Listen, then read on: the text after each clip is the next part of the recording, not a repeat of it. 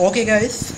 Uh, recently, a news was uh, very popular regarding the Kaveri dispute. Right.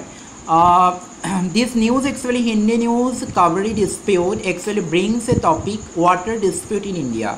See, this topic is actually very difficult. Difficult from the viewpoint is that it is difficult to catch which point to include and which point we have not to include.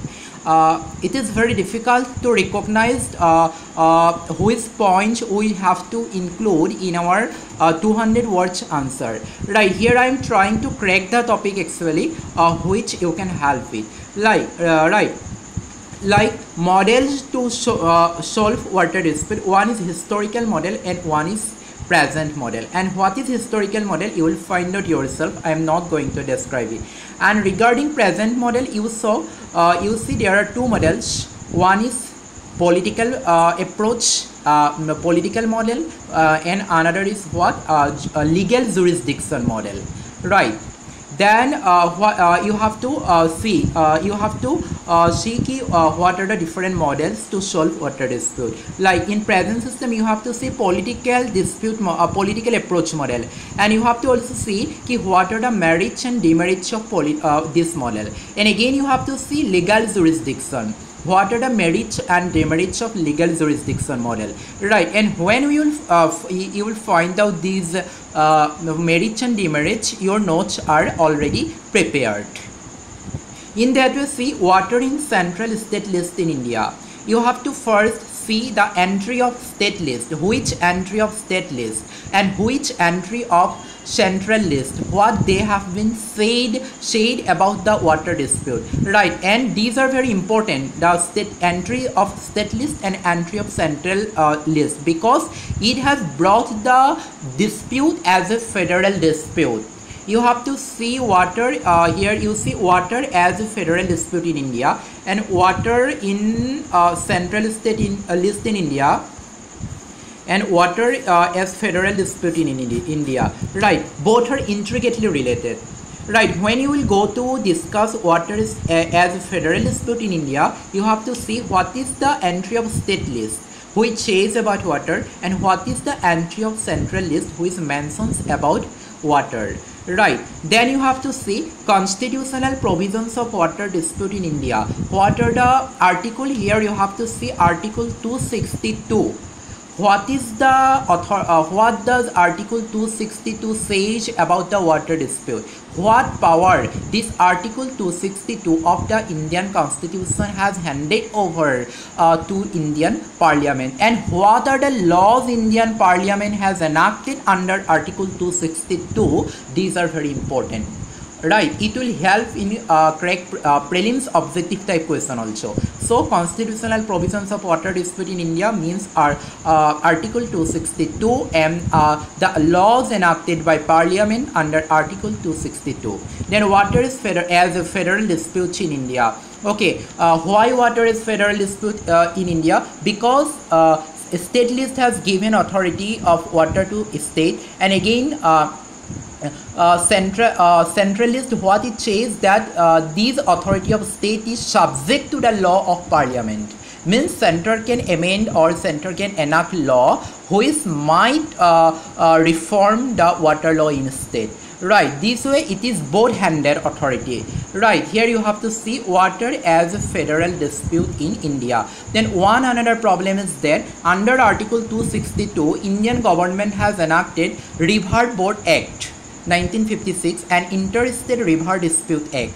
Right, in, uh, river under River Board Act, the law says that a, a river uh, uh, board authority will be established. This authority will be central authority. It will be one centralized authority which will control all uh, all the river boards in India. But the uh, the uh, the uh, matter is that under this uh, law act river board act 1956 which was enacted under article 262 the, no in uh, central uh, river board authority has been established in india till this moment.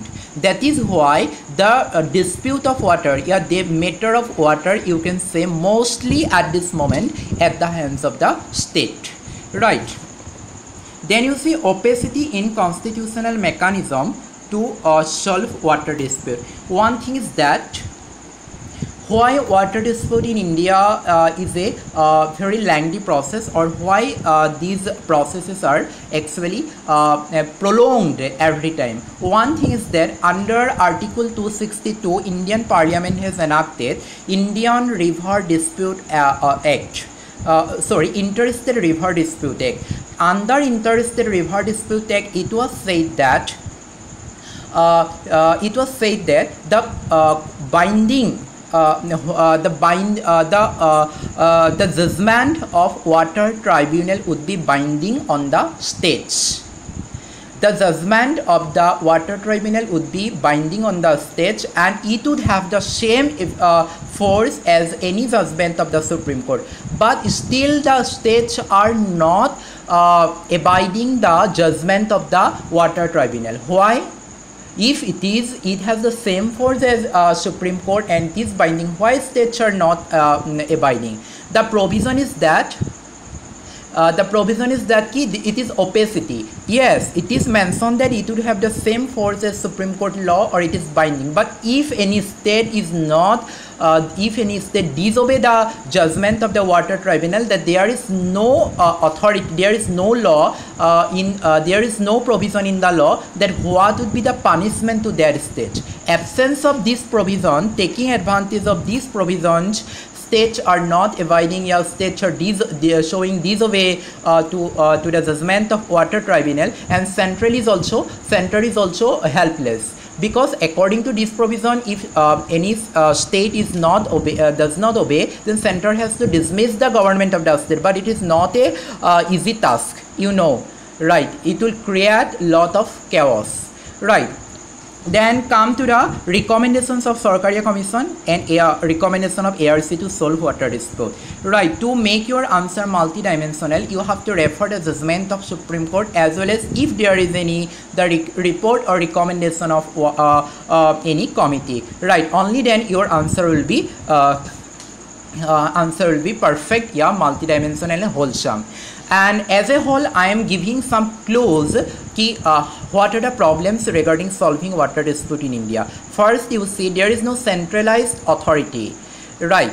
There is no centralized authority uh, uh, a centralized authority means there uh, uh, uh as the uh, in river board authority or river board act 1956 says that there will be a central river board authority but such no such authority has been established right there is no centralized authority second thing is that the water dispute tribunal is what it is not permanent in India, uh, in a country like India, where every day new disputes regarding water is uh, has come, there should be a permanent author water uh, dispute authority. Right. Another thing is that under interstate river dispute act uh, it is said that the states will request the center to establish the water tribunal. Right. If the first uh, when in the river uh, this uh, water dispute occurs then first method is political method. Right uh, the state with the help of center will try to solve the matter. If the matter is regarding the utilization of the water then the matter can be solved in political level. But if the matter is regarding the property dispute means each state is uh, uh, with historical references or with any other sources claiming that that river belongs to um, uh, he, uh, her okay then the matter should be uh, solved through water tribunal. Under river interstate river water dis, dispute it is said that if the political approach has failed then the state will uh, request center to establish a water tribunal. But what if center does not uh, uh, establish a water tribunal? Sometimes center is prolonging the approach. Sometimes center prolongs the process of establishing water tribunal. Right then what will happen? It is another lacuna yeah another lacking here. Right then another thing is that I already told you that states are disobeying water tribunal. River Dispute Act says that any judgment of water tribunal will be enforced as soon as states uh, publish the judgment in Gazette of India. But what if government has not published the gazette of india? And this is what the present uh, present government is doing. Government is not publishing the judgment of water tribunal in gazette of india and that is why uh, there is uh, uh states have also found advantage but center is also helpless. Because the uh, judgments are uh, such that if it is published in gazette of india then states are bound then if states are bound then there will be a lot of chaos in this case. Right. These are the some problems. Right. And again uh, as it is pointed out by sarkaria commission that there is a uh, necessity of central level data bank which will keep the record of all the rivers which will help the water tribunal to expedite the process. Because at present what happened? The process is so lengthy. Even the case of 1991 is still going on in water tribunal.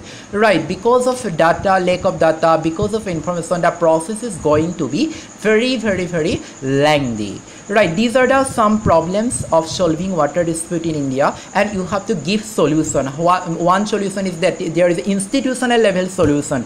Right uh, there will be central authority under that. It, it should be hierarchical process. One central authority under that each state uh, have a river board. Right in this way you can uh, discuss this topic. Yeah you, you can crack this topic. Uh, again i will come uh, with another topic. Till then take care goodbye and be prepared well for mains. Take healthy diet take good sleep be positive and crack mains